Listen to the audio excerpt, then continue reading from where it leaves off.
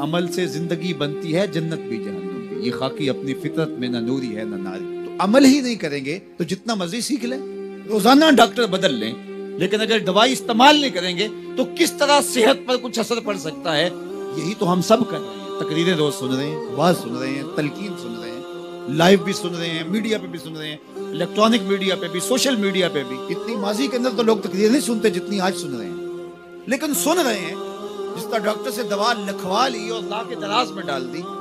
ये सारी चीज़ें हम सुन रहे हैं, लेकिन कभी अमल की तरफ़ नहीं गए। अमल के खूगर बन जाए तो हमारी ज़िंदगी बदल जाए।